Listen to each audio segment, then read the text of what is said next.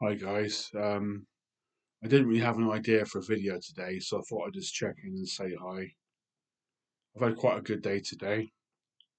I've seen a couple of friends. Um, I saw my friend Cindy that I haven't seen for a while, Neil. Today, I've been a non-smoker for 17 months, which is pretty good going.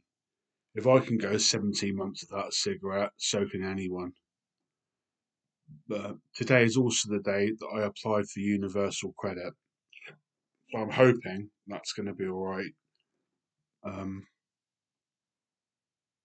so as of today, the 25th of January 2024, all is good for Mr. Pyramidatus.